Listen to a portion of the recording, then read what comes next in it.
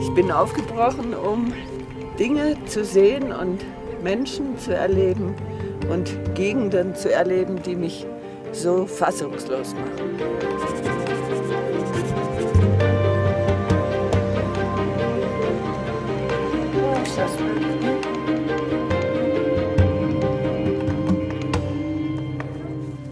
Wenn es mal richtig schwierig ist, dann sprechen wir uns Mut zu. Wir machen diese Reise wirklich gemeinsam, die Honda und ich. Oh, fuck it! Ah! Oh, ist das anstrengend, Leute.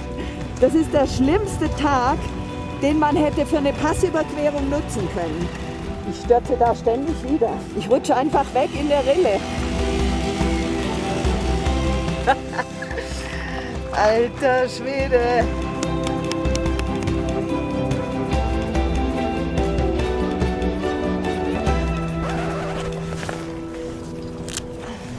It's hurt when you Yes. Oh Mann, mein armer Fuß. Nicht ganz easy so eine Reise. Ich bin ja nicht losgefahren, um mir zu beweisen, dass ich ohne fremde Unterstützung irgendwas schaffe, sondern ich bin vielleicht auch losgefahren, um zu spüren, dass die Welt in Ordnung ist und dass die Menschen gut sind. Wir sind bis China gekommen.